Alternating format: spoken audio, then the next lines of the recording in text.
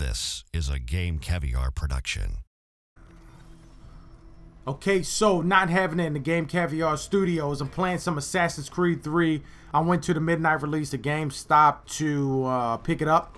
And I went there at midnight because it was a midnight release, but they didn't start letting people inside of the store until 12:30, so we had to stand outside in a small line. It wasn't crazy or anything. Um, if you remember in my past video, I said that we have a GameStop in a shopping center, and right across the street is a mall with another GameStop in it. I don't understand how that works. In this this town that I live in, we have three GameStops, and this I don't I don't I've never seen that before. You know, it was there were multiple GameStops, but they were spaced out. These are like in a cluster. But anyway, um, as I was standing in line, it was so cold outside that it was absolutely unbearable. It just got cold down here, and it's always a shock. I don't like being cold. I'd rather always be warm or hot. I don't. I can deal with hot weather. I can't deal with cold weather, and sometimes I have to work out in the cold, which sucks. But it is what it is. Anyway, this is you know what this is. Assassin's Creed 3 on PS3, of course. Of course, I got it on PS3 from GameStop because I wanted those extra missions. Yes, I finally figured out what the problem was on my PS3 and this uh, HD PVR. Somehow, and I changed the setting before, I have the official PlayStation Bluetooth headset. Not the new one, but the older model, the bigger ones. Um, somehow on the PS3, when you activate the uh, headset, when you turn it on, it directs the sound to the headset. So, um, and only to the headset. So you're not going to get sound to your TV or through the HD PVR. That's why it was just recording video and no audio. Now, I fixed this problem before, and I don't know how it got reset. I did a firmware update on the PS3. Maybe that was it.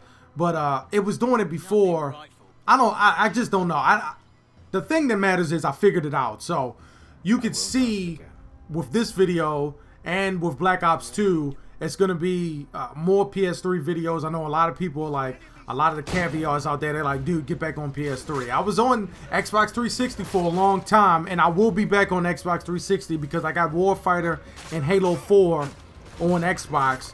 So it's, really a it's a nice split if you really think about it. Assassin's Creed 3 and Black Ops 2 on PS3, Halo 4, and um, Warfighter on Xbox. So that's the winner lineup, and I just now I didn't think about it at the time when I announced the winner lineup, but that really works out very well. This game actually works out very well too.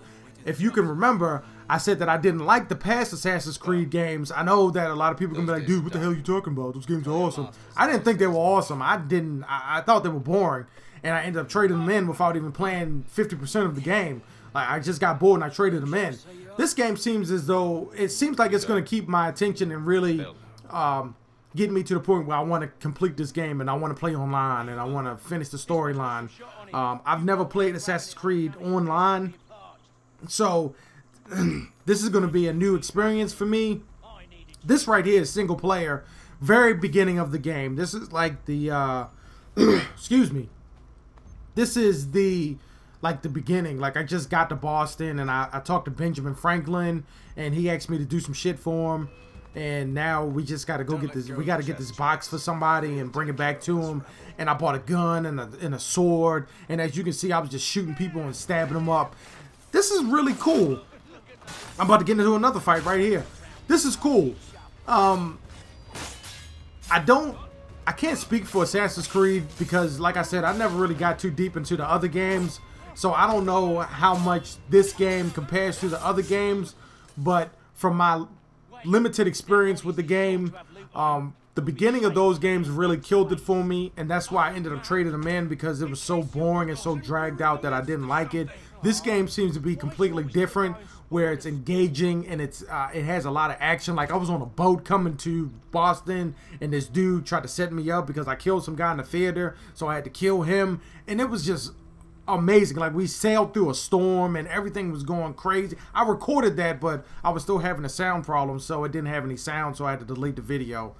Anyway, Assassin's Creed 3, I love this game so far. You will see more videos of this. Like this video, please. Share this video, please. I'm not having it in the Game Caviar Studios, and I'm out.